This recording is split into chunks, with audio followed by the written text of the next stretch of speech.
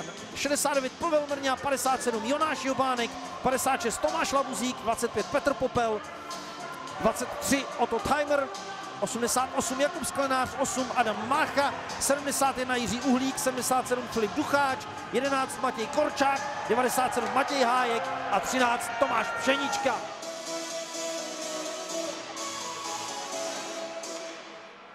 Na let přišla druhá přesilovková eskadra Chomtovských.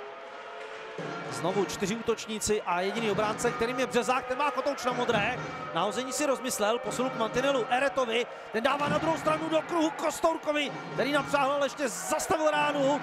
Ať to Piráti sehráli dobře a Petr Eret proměňuje přesilovku ve vedoucí gol Pirátů. Dobře se hráno, Hýbl dával před brankou Svobodovi, ten ale minul. Březák posunul Kadeřávkovi. Takže teď tlak první formace Kadeřávek si Sianosu posunul na druhou stranu Lukešovi, jeho sražená rána a je to 2-0 pro Piráty. Přiznám se, že si nejsem jistý, jestli dorážel někdo z dvojice Hýbl Svoboda a nebo ten tečovaný kotouč zaskočil nečase natolik, že skončil v jeho síti. No a podobná situace také na druhé straně, ale ani domácí nezakončovali. Tady je záruba a jeho rána přes Jana Nikas propadla Nečasovi do branky, takže v čase 21-17 upravuje Richard Záruba svým prvním gólem v chomtovském dresu.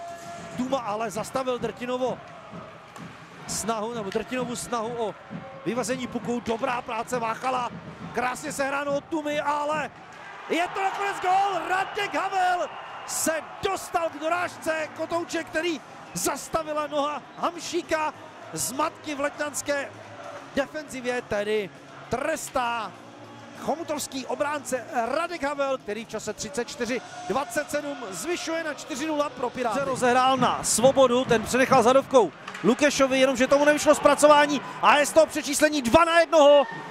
Pšenička Kadeřávek a je z toho vlastní gól nepříjemná situace pro Martina Altrichtera, kterého podle zápisu překoná Korčák, jenomže ten kotouč srazil mezi betony Martina Altrichtera.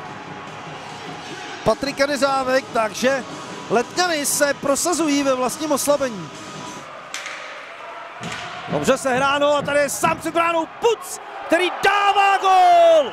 Jouza posunul Pucovi a ten rychle vrací Pirátům vedení o čtyři góly. Pro Davida Puce první gól v této sezóně. Tady je Puc, který je po tom gólu při chuti. Našel si dobrou pozici, sjel si na osu a David Puc se prosazuje po druhé v tomto hracím období, po druhé v dnešním zápase a zvýšuje na 6-1 pro Chomtovské Piráty. A rána, kterou vyslal Mácha, byla sražená tělem jednoho z bráňcích hráčů, ale nikdo bílo-červeném se zakončení nedostal a je tu konec.